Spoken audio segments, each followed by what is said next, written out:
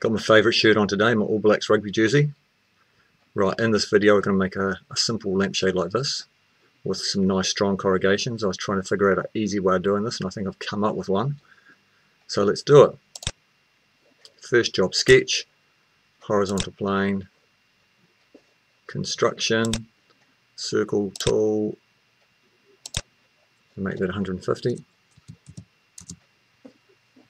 Click off construction, spline tool and zoom in.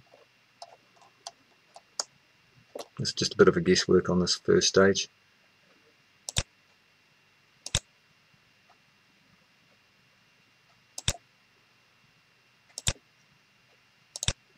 Finish.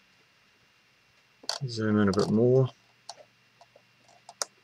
Pan down. Click. Cancel. Now I can manipulate it. Bring that one in. I want these reasonably symmetrical, don't have to be perfect. That will do. Create circular pattern. Select the object. Select the center point, I'll scroll out.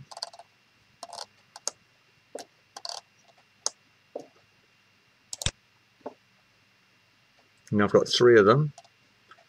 I'm going to change that to say 33. Let's zoom in so I can see what's going on. 36. 36 looks quite good, okay.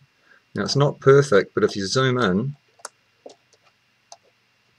I can click on that and just drag it back until it snaps. That's closed. Finish sketch go home and I pretty much got quite a good series of corrugations. Well, they're all symmetrical. Now I'm going to go with the press pull. I'm going to go up 100 and, 180, enter, click on the home. Now all I have to do is shell it out.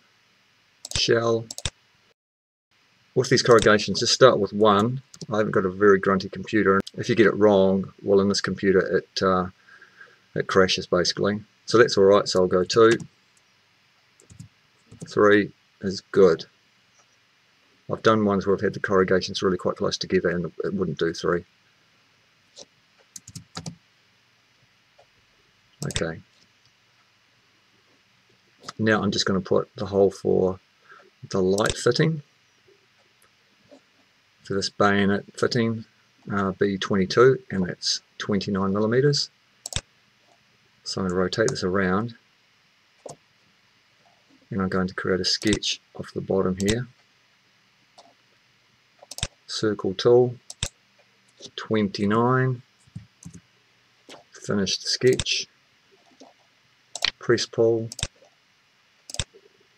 press it in as long as it's more than 3 and it's on cut.